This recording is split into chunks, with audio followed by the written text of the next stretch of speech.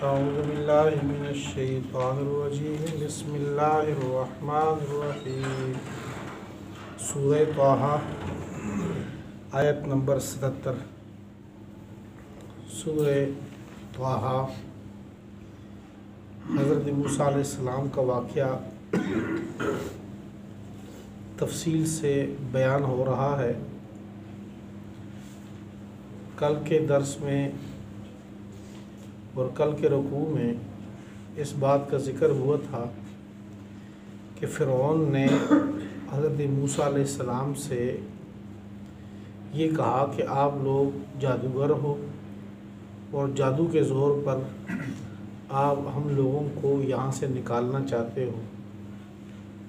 तो आप जादूगर हो तो आप जैसे हमारे पास भी कई जादूगर मौजूद हैं तो एक मुकाबला करवाते हैं बड़े स्टेडियम में मुकाबला करवाया गया, जिसमें हज़रत मूसा सलाम गालिब आए। और अल्लाह फरमाते हैं कि वलाफ़्लसाहिर हईस आता जादूगर, क्योंकि जादू उसमें काला इलम होता है, शैतानी, शैतान से मदद मांगी जाती है, जबकि नबी के पास जो इलम होता है, वो नूर का, नूरानी है। तो शैतान कहाँ अल्लाह के मुकाबले में ठहर सकता है? तो वलाफ़्लसाहिर हईस आता अल्लाह फरमाते जादूगर जब भी मुकाबले आए, आएगा तो वो जलील होगा और कामयाब नहीं होगा। तो जादूगर सारे ईमान लाए तो फिर ने अपनी कौम को बचाने के लिए कहा कि ये जादूगर इसी मूसा सलाम के शागिर्द हैं, ये आपस में मिले हुए हैं, ये सब मिल के हमारे लिए इन्होंने प्लानिंग बनाई हुई है। आज की जो आयात हैं इसमें हज़रत मूसा सलाम का वाक़ अब आगे चल रहा है इसमें कि हज़रत एक वक़्त के बाद फ़िरौन को यहाँ तब्लीग होती रही, बनी इसराइल को होती रही, बनी इसराइल ईमान ले आए। फिर एक अरसे बाद अल्लाह शाह ने हज़रत मूसा सलाम को ये कहा कि आप बनी इसराइल को लेकर यहाँ से निकलो। ये फिलफोर नहीं हुआ काफ़ी अरसा रहा दरमियान में। फिर उनको ढील मिलती रही, तरगीब मिलती रही। उसकी मजाल में शिद्दत आती रही। बिल आखिर जब फ़िरौन की हलाकत का अल्लाह ने इरादा किया तो हज़रत मूसा सलाम से कहा कि आप बनी इसराइल को लेकर निकलो। जब वो निकले तो आगे हमने नौवें सिपारे में पढ़ा था। वो वाक़ भी तफसील से कि आगे दरिया नील आ गया और पीछे फ़िरौन पहुँच आया उनको पकड़ने के लिए। तो हज़रत मूसा सलाम से कहा गया कि आप अपनी आसाब को इस दरिया पे मारें उन्होंने मारा तो दरियाए नील के अंदर खुश्क रास्ते बन गए। तो हज़रत मूसा सलाम अपनी कौम को लेकर चल पड़े वहाँ से और ये दरिया पार कर गए। पीछे फ़िरौन आया और फ़िरौन जब पहुँचा, इसके अंदर दरिया का पानी बराबर हो गया, फिर चल पड़ा। तो वो फ़िरौन अपनी कौम के साथ गरक हो गया। ये इसका ज़िक्र है। ये इसके गरक होने का जो ज़िक्र है, चूँकि नौ सिपारे में ज़िक्र हो चुका है तो यहाँ मुख्तसरा सिर्फ़ इशारा इशारा से अल्लाह ने यहाँ ज़िक्र किया, इसको तफसील नहीं ज़िक्र की। उसके बाद का वाक़ तफसील से है कि बाद में अल्लाह शाह ने बनी इसराइल को ये कहा कि पीछे फ़िरौन के महल्ला सब कुछ चीज़ें खाली हैं। वो बागा, वो बागात महल्ला सारे कुछ, क्योंकि बंदा है ना बंदे की ज़ात। अब जाओ वापस कब्ज़ा कर लो। ये अल्लाह ताला ने बतौर तोहफ़ा और इनाम के तुम्हें दे दिए ये वापस आ गए। अब यहाँ पर इनको, चूँकि अब सारे ही मानने वाले थे इनको एक ऐसे अहकाम की शरीयत की ज़रूरत थी ताकि वो उनको उसके ज़रिए अमल कर ले उस पर इन्होंने मुतालबा किया कि हमारे पास किताब होनी चाहिए। तो हज़रत मूसा सलाम ने अल्लाह की दुआ मांगी तो अल्लाह ने उनको बुलाया कि आप कोई तूर पे आए, वहाँ से तोरात आप ले लें ताकि इसमें अल्लाह के जो अहकाम हों, ये बनी इसराइल के लिए हों ताकि वो माने फिर इसको। तो बनी इसराइल ने पीछे ये नौवें सिपारे में गुजरा है कि बनी इसराइल ने इस बात पर अड़ी डाल दी थी, ज़िद की कि भाई आप अकेले नहीं जाएँगे। क्या पता वहाँ आप खुद जाकर लिख के ले आए हमारे पास, कहाँ से आप लाए? कम से कम हमें इलम तो हो, पक्का यकीन हो कि अल्लाह की तरफ़ से। लिहाजा कोई सत्तर बंदे हमारे भी आपके साथ जाएँगे। तो ये लोग सत्तर बंदे वहाँ चले गए हज़रत मूसा के साथ। तो हज़रत मूसा जब उस मकाम तक पहुँचे तो उन बंदों से आगे हो गए। रफ्तार में तेज़ी कर ली, उनसे पहले पहुँच गए कोई दूर। वो पीछे आते रहे। अल्लाह शाह ने उनसे पूछा कि, माँ जल कान कौम के या मूसा? आप क्यों जल्दी आ गए? मतलब अपनी कौम के साथ क्यों नहीं आए हो? तुम्हें किस चीज़ ने जल्दी पिलाने पर मजबूर किया कि आप जल्दी आ गए हो? तो हज़रत मूसा सलाम, चूँकि वो पहले कलाम की लज्जत हासिल कर चुके थे कोई दूर में अल्लाह के साथ तो वो इनके जहन में था कि मैं पहले चला जाऊँ ये शौक़ और शिद्दत इश्तियाक की वजह से, मोहब्बत की वजह से। कि मैं पहले आ जाऊँ यहाँ पे और अल्लाह को कहा अल्लाह जल शानों को ये अर्ज़ किया कि अल्लाह वो मेरे पीछे पीछे आ रही इसी रास्ते पे। मैं आपके पास पहले आ गया ताकि आपसे बातचीत हो, हम कलामी नसीब हो, अपनी दीदार, अपने शौक़, इश्तियाक ज़ाहिर किया। ये ऐसी जहाँ, जैसे कि यहाँ पर आज़ान हो कि हईसला फला या नमाज़ की तरफ़ आओ, कामयाबी के लिए आओ तो एक बंदा उसी वक्त शौक़ से उठता है कि जी, अल्लाह ने बुला लिया है, अल्लाह का बुलावा आ गया। तो अब वो शौक़ से आता है, यहाँ पर दस मिनट, पाँच मिनट पहले पहुँच आता है, वज़ू करके घर से आता है या वज़ू यहाँ करता है, यहाँ पहली सफ़ में बैठ जाता है। तो अपना शौक़ और इश्तियाक अल्लाह के सामने ज़ाहिर करता है। एक वो शख्स है, आज़ान होने के बाद वो घड़ी को देख रहा है कि कब जो है वो बिल्कुल जो है, अगर नमाज़ सबब है तो बिल्कुल सात बज के चौदह मिनट पे घर से निकलूँगा, एक मिनट रास्ते में लगेगा। जब पहुँचूँगा तो इमाम पहली तकबीर में होगा और पहली रकात में मुझे मिल जाएगा। और कुछ लोग इससे भी आगे सुस्ती कर रहे होते हैं, चलो जी, पहुँच गया तो भी ठीक है, ना पहुँचे तो भी ठीक है, नमाज़ बाद में पढ़ लेंगे। तो नमाज़ तीनों की हो गई है, लेकिन एक ने अपना शौक़ और इश्तियाक ज़ाहिर किया, अपनी तलब तड़प ज़ाहिर की है तो उसका अजर स्वाब और होगा।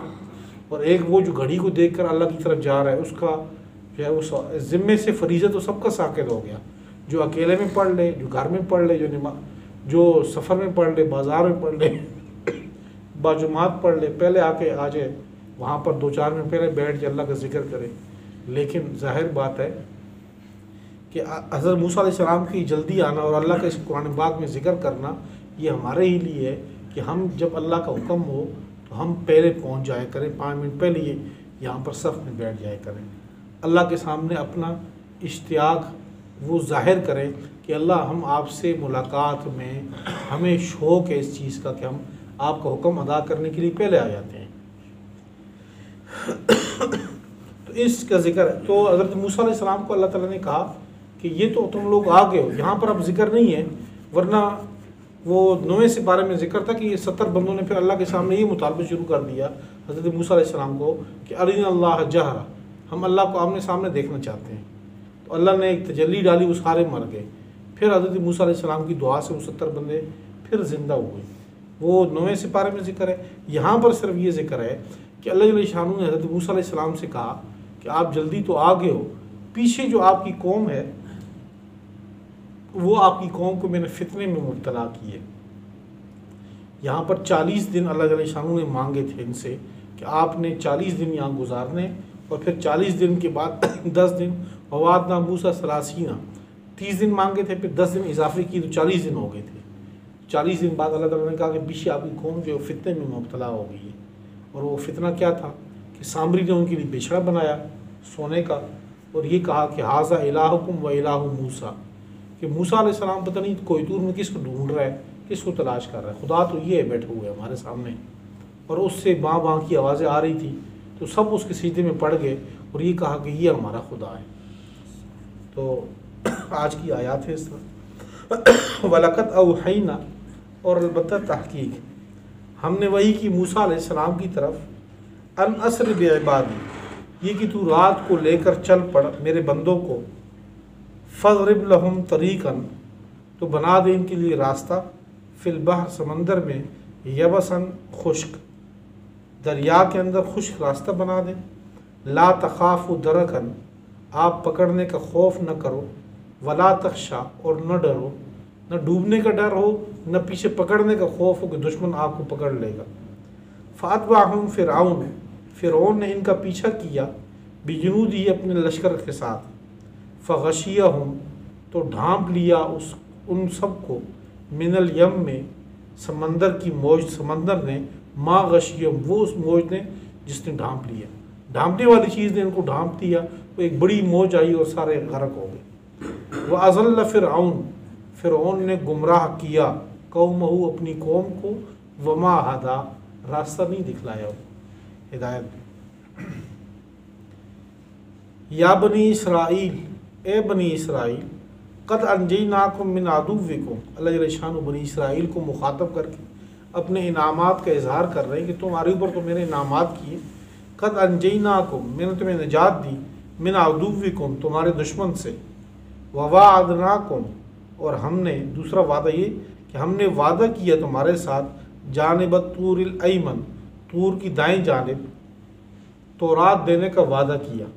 वनज़ल्ला अलैकुमन वसलवा और तुम्हारी पर मन और सलवा उतारे।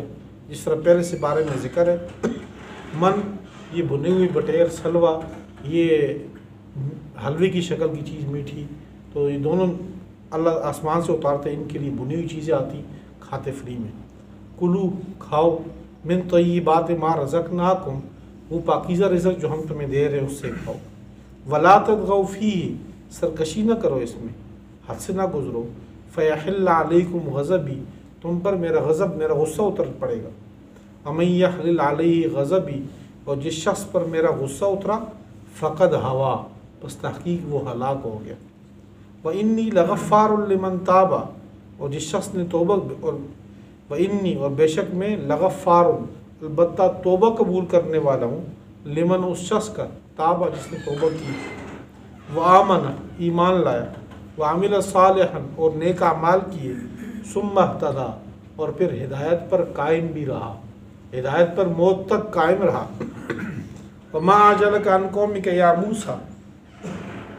किस चीज़ ने तुझे जल्दी पे उभारा है अपनी कौम से? ए मूसा सलाम काला, हज़रत मूसा सलाम कहने लगे, हम उलाई, वो लोग अला असरी, मेरे पीछे हैं, मेरे पीछे आ रहे हैं। वाजिल तो इले का रब बिलतरज़ा और मैं जल्दी की आपकी तरफ़ ए मेरे रब लितरज़ा ताकि तू राज़ी हो जाए। मैं जल्दी इसलिए आया ताकि तू राज़ी हो जाए। काल फ़ैन अकद फ़तन ना कौम का फिर अल्लाह ने कहा कि कि फ़ैन नाकद फ़तन ना कौम का बस तहकीक हमने, बस बेशक हमने तेरी कौम को फितने में मुबतला किया आजमाइश में, तेरे बाद। व अज़ल्लमसामरी और सामरी ने उनको गुमराह कर दिया। फ़रजा मूसा इलाक़ों में ही गज़बान आसिफ़ा सामरी चूँकि सबब बनाया था, उनकी गुमराही का तो यहाँ गुमराही की नस्बत सामरी की तरफ़ कर दी। फ़रजा मूसा इलाक़ों में ही मूसा जब लौटे, वो वादा जब पूरा हुआ चालीस दिन का, उस चालीस दिन बाद जब वापस आए, फ़रजा मूसा इलाक़ों में ही हज़रत मूसा जब कौम में आए, गज़बान आसिफ़ा गुस्से से भरे हुए असिफ़ा अफसोस करते हुए। काल या कौम तो हज़रत मूसा सलाम ने ख़िताब की अपनी कौम से ये कहा, ए मेरी कौम, अलम यदकुम रबकुम वादन हसना? आया तुम्हारे रब ने तुम्हारे लिए कोई अच्छा वादा नहीं किया था? यानी अच्छा वादा किया था तुम्हारे साथ तो रात मिलने का, अल्लाह की किताब मिलने का, अल्लाह की रहमत तुम्हारी पर थी। अफ़ताल अलकुमद क्या तुम्हारी पर कोई बहुत लंबा ज़माना गुजर गया था? अम अरत तुम अलकुम गज़ब मिर रबिकुम या तुम लोगों ने ये इरादा कर लिया कि तुम पर तुम्हारे रब का गुस्सा उतरे, गज़ब उतरे। फ़ाखलफ तुम मऊदी बस तुमने मेरे वादे की खिलाफ वर्जी की। कालू माखलफना मऊद का बेमलकिना, वलाकिन्ना हमलना अवज़ार मिन जीनतलकौम फ़कज़फ़ ना हा फ़कदाल का अलकसामरी फरमाते हैं कि सामरी ने हज़रत मूसा सलाम के बाद कौम से ये कहा कि ये जो तुम जेवरात के मालिक बने हो, सोने चांदी जो फ़िरौन के महल्ला से तुम लोगों ने हासिल किया, ये तुम्हारे लिए ठीक नहीं है। तुम ऐसे चूँकि गंदा है, उन लोगों की चीज़ें थी, लिहाजा तुम इसको आग में डालो। तो फ़िरौन सामरी ने एक आग लगाई, उस आग में सारी कौम ने अपना सोना जेवरात डाले उसमें, और सामरी ने भी उसमें डाला, जेवर जो था। और उसको सोने को बिछड़े की शक्ल का बना दिया। तो जब वो बिछड़ा बना उससे तो उसकी तरतीब कुछ यूँ की कि उससे आवाज़ आने लगी। अब आवाज़ कैसे आई? कुछ अगले रकू में भी ज़िक्र है इसका ये वाक़ यहाँ पूरा नहीं है इस रकू में। अगले रकू में भी ये वाक़ चल रहा है। कुछ तो लमा फरमाते हैं कि सामरी ने इसमें सुराख कुछ इस तब्दीब से रखे थे, बिछड़ा बनाते वक़्त, ताकि एक तरफ़ से हवा दाखिल हो, दूसरी तरफ़ से निकले हवा उस सुराख की तरतीब कुछ यूँ थी ताकि इससे आवाज़ नुमा पैदा हो।